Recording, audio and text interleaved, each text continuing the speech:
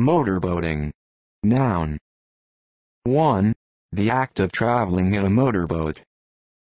2. Slang, the act of placing one's head between a woman's breasts and making the sound of a motorboat with one's lips whilst moving the head from side to side.